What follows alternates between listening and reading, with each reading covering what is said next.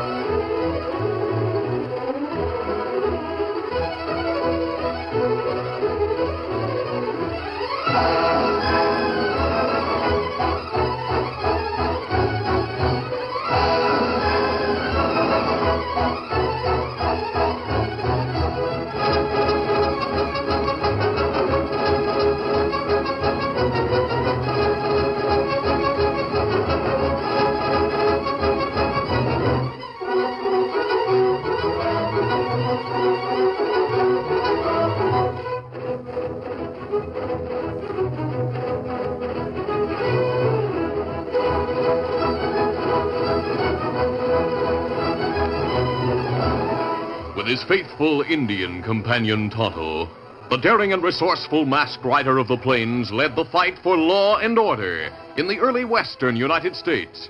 Nowhere in the pages of history can one find a greater champion of justice. Return with us now to those thrilling days of yesteryear. From out of the past come the thundering hoofbeats of the great horse Silver.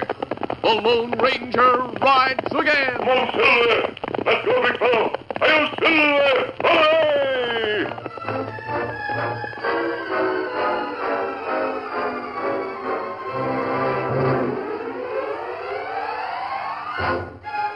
Silas Logan had sold his holdings in Missouri and had talked some of his neighbors in Jefferson City into forming a wagon train and going west. Cy was put in charge of the wagons, and the night before the train's departure, one of the prominent men of the town visited Cy at his home. Sir, you're well liked in this town, and we're sorry to lose you, but uh, I'm sure you'll be successful in the West. Thanks, Will. From what I've heard, the Far West is a place where anybody has a good chance if he's willing to work hard and put up with a rough life out there. Say, I, uh, I didn't come here just to say goodbye. I, I came to ask a favor. Sure. What is it? Well, Dave, put it bluntly, I want you to take my son Ted along with you. Ted? Well, now, I haven't anything personal against the boy, Will. Yes, I know, I know. He has the reputation of being sort of a, well, stuck up ne'er do well and all that, but uh, I figure if he went west, he might change. Frankly, he could do with a lot of changing from what I hear. I suppose it's my fault. I've let Ted have his own way since his mother died a few years ago.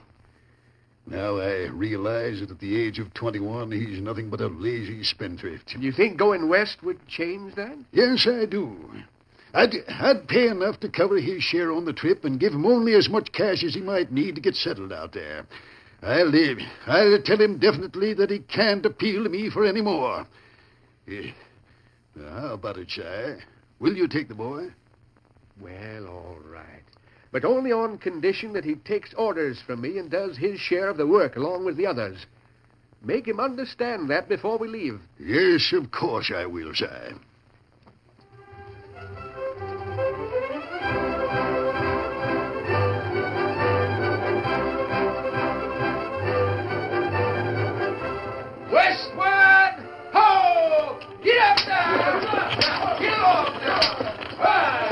The next day, the wagon train left Jefferson City, and in the many days that followed, Ted Harris made himself thoroughly disliked by everyone, except Silas Logan's 18 year old daughter, Flora.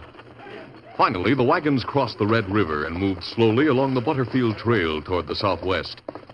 Ted and Flora rode the seat of the lead wagon, while Cy Logan on horseback led the wagon train. Oh. Flora was talking to Ted as they moved along. Ted, why don't you try to make people like you? You seem to go out of your way at times to turn the others against you. I don't care what anyone thinks of me, Flora, except you. But you must care. If you settle in the far west, you'll need friends, Ted. In the first place, if Dad thinks I'm going to settle in the West for any length of time, he's mistaken. In the second place, I didn't want to come out here at all. Then why did you? It was the only way to get Dad off my neck, that's why. I thought it might be interesting to come west with a wagon train, but found out it's nothing but rough riding and hard work. The others aren't complaining, so why should you? Oh, they have wild ideas of going out west and making a good living. So they're willing to go through the hardships to get there.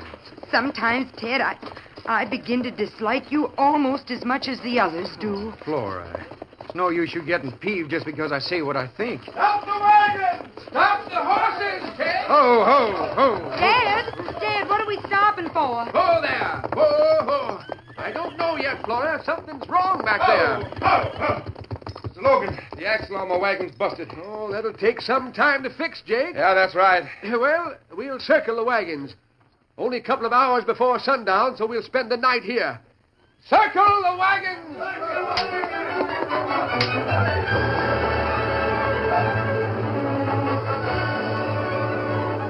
The wagons were drawn into a circle on hard, dry ground near a cliff. And some distance beyond, a wide, shallow stream separated the wagon train from the open prairie. That night, Jake sought out Cy Logan and took him aside for a private talk. Cy, I uh, want to talk to you alone about something important. Well, nobody'll hear us now. What is it, Jake? Well, for some reason, somebody's trying to delay this train. What? When I inspected that busted axle on my wagon, I found it had been partly sawed through. And then it busted when we hit a rough part of the trail. Are you sure about that? Yep. And I can't figure out who might have done it or why. Of course, that no good Ted Harris may be sore because I told him what I thought of him this morning. Oh, I don't believe Ted would do anything like that, Jake. But I'll talk to him anyway. I'll go find him right now.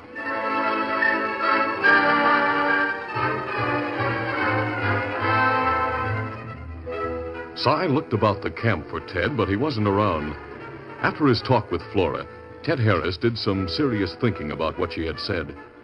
He had left the camp on horseback unobserved and had ridden for some distance along the trail in the moonlight. He turned off and rode to a low bluff overlooking a stream. Oh, ho, ho, boy. He ground hitched his horse and walked to the edge of the bluff, where he sat down and gazed at the water. As he sat in deep thought, Ted suddenly became aware that someone was talking just below the bluff. He crawled to the edge and peered over. Two figures were in the shadows. Nothing at all. Ted listened. I delayed the wagons by busting an axle, so they had to camp for the night earlier than usual. Then I came here to meet you like we planned when we met a couple of nights ago. Yeah, that's good. It gives Chief time to get many braves together by dawn. Well, now wait until the wagons break camp and go for a few miles. Then they'll be on open prairie. Red Fox tells Chief. Yeah, I'll get back now. I'll see you again, Red Fox, after the raid. So long. Get up! Apata! Apata! Man was from the wagon train. Sounded like Jake. I'd better warn Mr. Logan and the others. Easy, boy. Come on, get up there. Come on.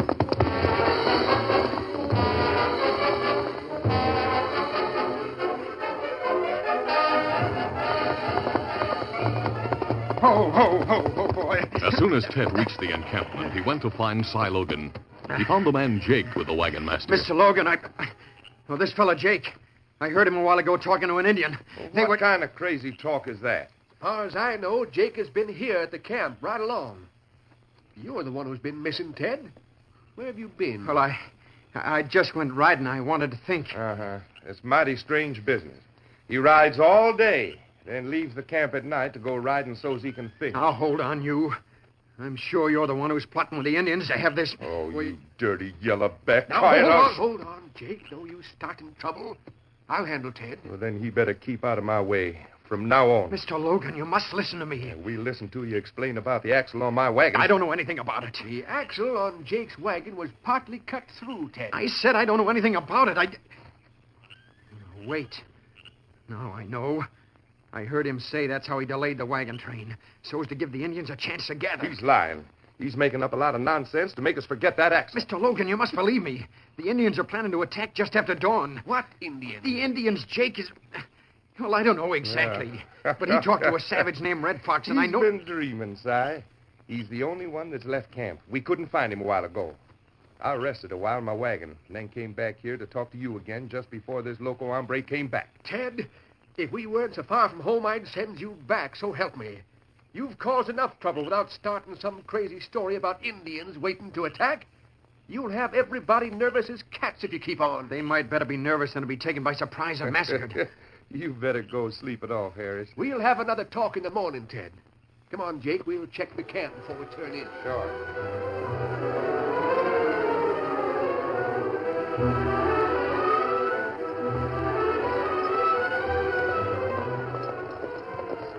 On a parallel trail a couple of miles away, the Lone Ranger and Tonto moved along the following dawn on a return trip from Fort Worth.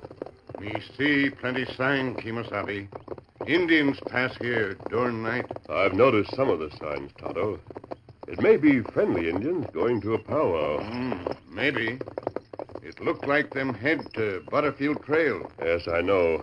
But the Major told me there hasn't been any trouble in this territory with hostile Indians for months. He feels certain they've moved northward into the Indian territory beyond the Red River. Hmm, that good.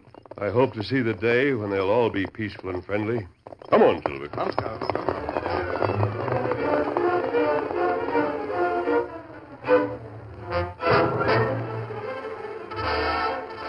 Ted had tossed all night, wondering what to do about what he'd heard. He began to realize what it meant to have other people dislike and distrust him. At dawn, the horses were hitched to the wagons, and in spite of Ted's warning, they prepared to leave. It was then that one of the men came riding to Cy Logan's wagon. Oh, ho there. Ho, ho, ho.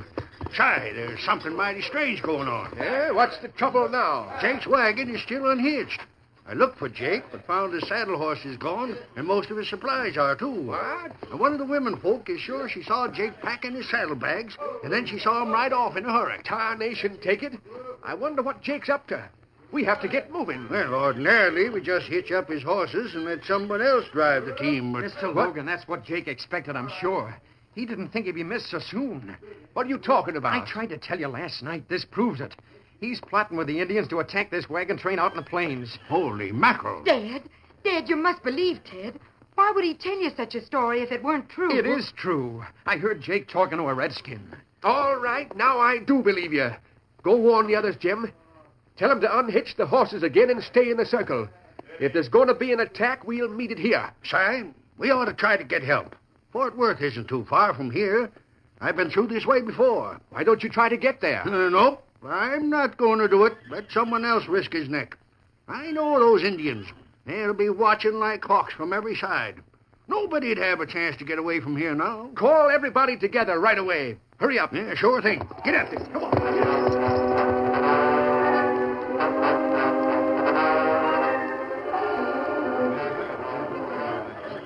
Within a short time, everybody in the camp met near Cy's wagon. Listen, everybody. We're expecting Indians to attack us. I'll not tell you how I know right now, but I feel reasonably sure they will. Our only chance is to get through to Fort Worth and have them send help. I'm it here, or I'd try to get through. Now, who's willing to volunteer? The savages will be watching. Whoever tried it wouldn't live to get through. By thunder, then I'll try it myself. I'm not as young and spry as I used to be. No, Dad, but- please. They need you here, and, and you couldn't get through. You can't ride fast enough. Come on, Flora. Wish me luck. Oh, get up there. Huh. Harris is trying to escape the attack. Yeah, running off like a scared rabbit. Oh, no, no, that's not true. Ted is going to get help, I'm sure of it. And I pray to heaven for the sake of all of us that he gets through safely.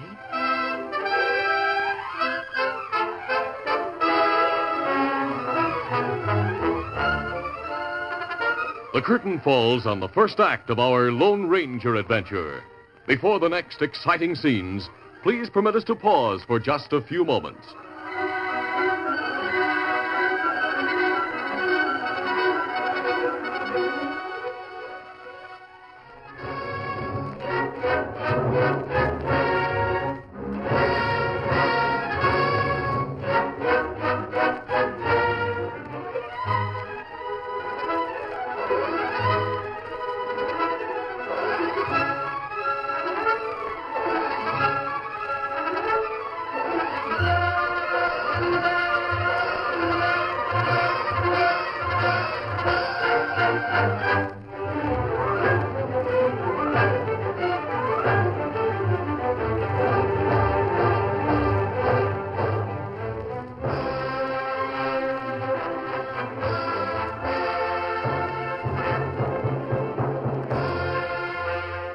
To continue.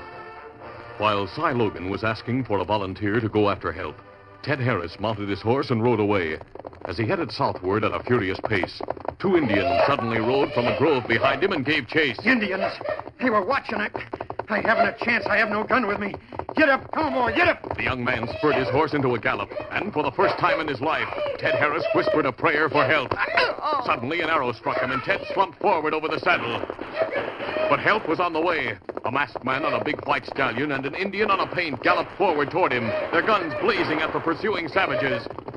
The Indians turned and fled. The Lone Ranger and Tonto pulled rein and intercepted Ted's horse. Oh, whoa, fella, whoa. Whoa, Scout. Whoa, Silver. Oh, easy, steady, big fella. Easy, fella. We lift him from the saddle. Ah. Carefully, the masked man and Indian placed Ted on the ground.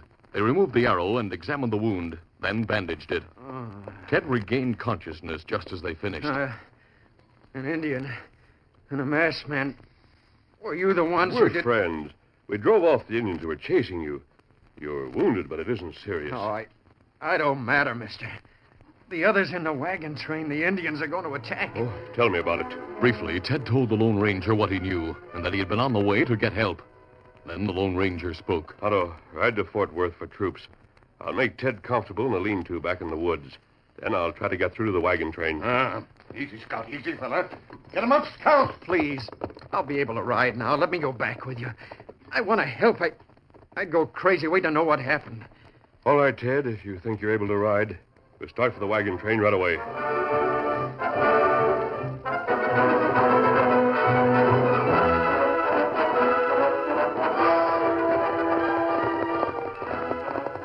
When the Lone Ranger and Ted had almost reached the wagon train, The attack has begun, Ted. We can't get through to him now. We'll be able to see the attack when we reach the top of this rise.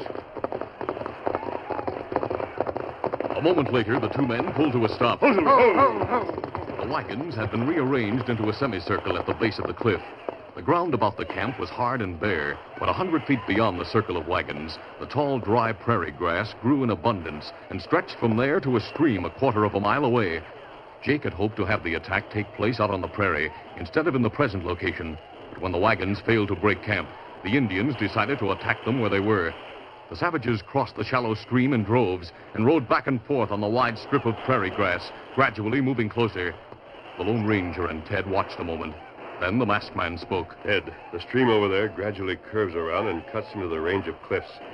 If we burned off that strip of dry grass, we'd drive back those Indians for a time. The flames would stop at the stream and at the cliffs. That's right. It'd drive them across the stream and keep them there, maybe.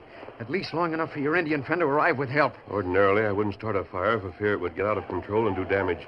But burning off that strip will be all right. Easy, steady, big Easy, boy. It's the only thing to do to save the wagon train. The wind is blowing toward the stream, so it will drive the flames that way. The Indians will be forced to cross the stream for safety. We'll work fast, Ted. Come on. Moving quickly, the Lone Ranger and Ted Harris crawled along in the dried grass and bushes, touching off what soon became a wall of flame that moved toward the attacking Indians. It's working. They're riding toward the stream ahead of the flames. This is our chance to reach the wagons. Easy, steady, big fella. boy. Come on, Silver. Get up.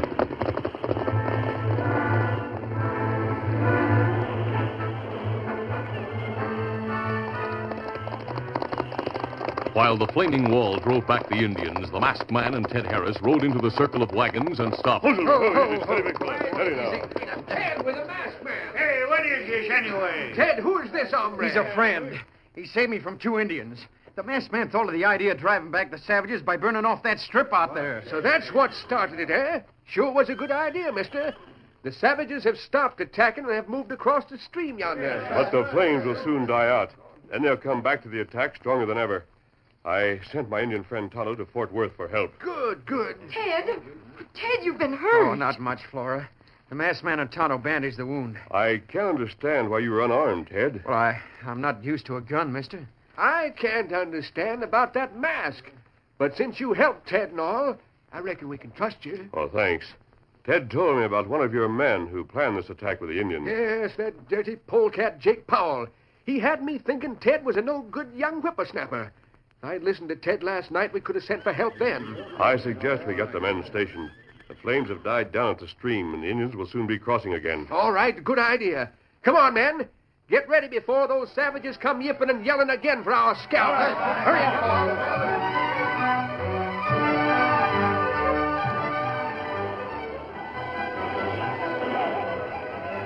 The attack wasn't long in coming. In spite of the smoldering ground, the Indians moved across the shallow stream and then rode shooting and yelling toward the wagons. Ted had taken up a gun and knelt beside the Lone Ranger by Cy Logan's wagon. He watched in amazement as the masked man made every shot count, and he was filled with admiration and wonderment at the calm, steady manner of the Lone Ranger. Before long, Ted, too, was using more care and was surprised to find that he was able to hit more than one of the fast moving targets in front of him. But time went on, and Cy Logan, with a worried expression on his face, moved in beside them. If help doesn't come soon, we are done for. I noticed more redskins crossing that stream yonder. As soon as one falls, it seems like two takes his place. Yes, this attack was planned ahead of time. Oh, what shooting. I reckon I'll never be able to shoot like that. I think you'll be able to do anything you set your mind on doing, Ted. You have nerve and courage. Yep, reckon he has it that, mister. Here they come again.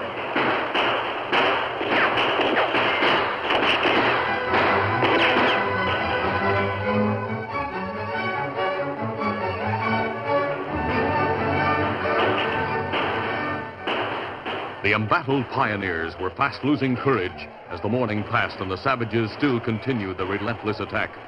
The Lone Ranger, with Ted Harris continually at his side, moved from one group to another with words of encouragement. We're still holding them back. Good work, men. We aren't going to hold them back much longer, mister. We're almost out of ammunition. What'll we do then? We'll decide that when the time comes, Ted. Right now, we'll check on the ammunition. Let's go. Ted and the Lone Ranger headed toward the wagon which had carried boxes of ammunition and which was situated on the left end of the semicircle close to the cliff. As they approached the wagon, Ted suddenly pointed. Look, somebody just left the ammunition wagon and jumped behind those boulders at the base of the cliff. I'm sure it's Jake. All right, come on. Right? There's smoke coming from the wagon. Reaching the wagon, the Lone Ranger climbed quickly into the back and hastily threw out a pile of burning clothes and bedding. There. He Tried to blow up the ammunition. He appeared among those boulders, firing at the Indians. Had his hat pulled down. we saw it was a white man. Thought he was one of us. Indians could have followed him in. Oh, no. We were on the alert for redskins. That's right. We didn't think of Jake coming back. Uh, he yelled, keep fighting, boys. Then jumped into the wagon. Now, he fooled us plenty. Better get back to your posts.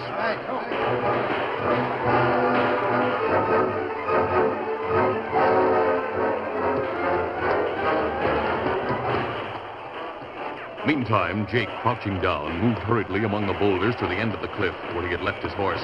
He mounted quickly and started to ride away. Get up there. Huh? There goes Jake now. He's getting away. It was at that moment that Jake, who had started out to rejoin the Indians, heard something that quickly made him change his mind. Uh, the troopers riding in. I'll beat it through the woods over there. Get up there. Come on. The Lone Ranger also saw the troopers riding in at the far end of the smoldering strip of prairie land. Quickly mounting Silver, Steady, big fella. he gave his attention to catching the traitor who had caused the trouble. Come on, Silver!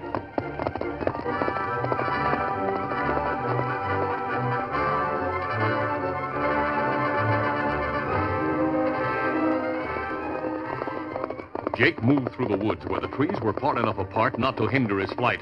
He turned and seeing the masked man moving closer, he fired.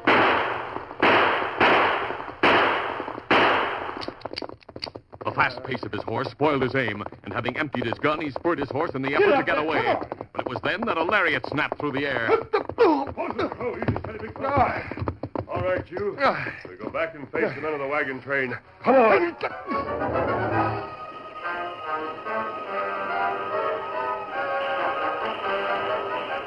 By the time the Lone Ranger and the much subdued Jake started back toward the wagons, the fight ended and the Indians had been driven off.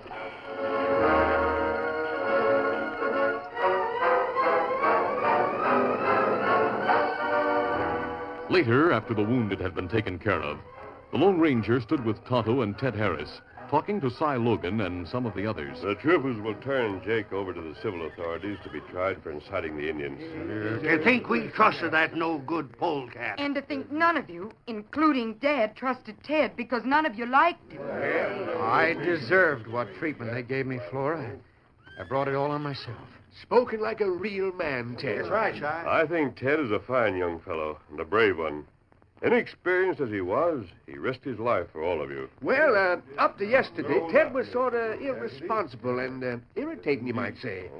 But I think the men will agree with me when I say that now he's gone from youth to manhood in a big way. I agree with you, Mr. Logan. Well, I. I don't know what to say. You never do, Ted. if that's the hit I think it is, Ted. Well, Tonto and I'll stop by for the wedding. Flora, you mean you. Well, well, that you, is, I. you better wait till you and Flora are riding the wagon seat alone, Ted.